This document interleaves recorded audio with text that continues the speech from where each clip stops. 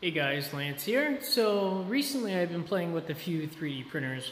I bought one from uh, Creality, um, which I actually returned. It was a pain in the butt. But I recently got uh, the Ender 3 Pro, and that sucker, after a little bit of leveling, it turned out to be one of the best uh, 3D printers I've worked with um, for compact and uh, you know home use.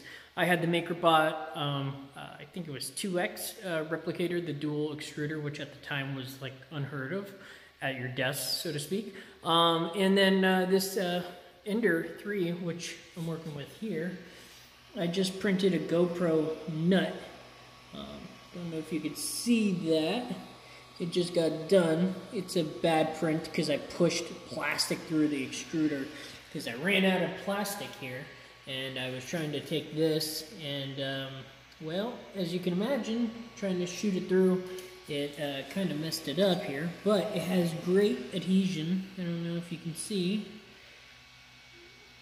let me zoom out here so it's on there pretty good. I'm actually gonna have to reprint it I think. Let's see if I can get that sucker off. Yep. There we go. But otherwise, it did a really good print otherwise, but yeah, as you can see here, um, if I didn't push the extrusion, uh, probably would have come out smooth like you see here. You can see definitely towards the end where I tried to do that. But anyways, I was able to print a mask, which came out really good. Um, another GoPro uh, tripod holder. Um, yeah, so I mean, the printer itself is pretty good. Um, it's affordable for what it is. It's under 300 bucks, um, but I definitely recommend it. Um, came with a bunch of tools too, but um, yeah, I mean overall, it's a really good printer. Uh, Teddy approves. Um, but yeah, so if you haven't gotten a 3D printer and looking for something under 300 bucks, uh, I would say this is definitely, definitely a good uh, buy. Uh, something to take a look at. Um, yeah, and not only that, um, you know, I don't know if you could tell, I had a glass bed one, but this from Ender, which is magnetic, is fantastic. So when you have things that are super hard to get off, you could literally take it off and bend it and comes off. Um, but yeah, it's nice touchscreen. Um, you know, you could go into your uh, SD card here, which I'll tell you, one of the cool parts about this, and some of them don't have, is this change TF, where a lot of times you have to literally shut off the printer, turn it back on, and uh, it kind of sucks that you have to do that sometimes. You know, it's another step that you don't need.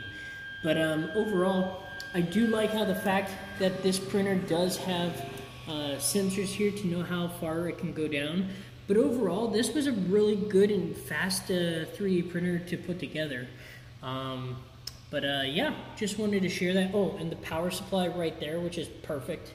Uh, it's hidden away unlike the Creality um, CX, I think it was 300 uh, that I had. Yes, this is smaller than it, but um, I can. It's a pretty decent volume. Uh, you know, I'm not printing vases and stuff, so it's it's okay. But um, anyways, guys, I just wanted to share this because uh, I've been printing and working on 360 video, which eventually uh, we'll be uploading on our channel and doing on Twixel. But this little teeny thing took 8 minutes and 51 seconds to print. Um, so a little longer than I would have liked. I thought it was going to be a 4-minute print, but hey, it is what it is. But anyways, guys, uh, have a good day, good night. Um, and uh, hopefully we'll get back into some 3D printing stuff. And Teddy, uh, Teddy, say goodbye. Uh, Teddy says goodbye.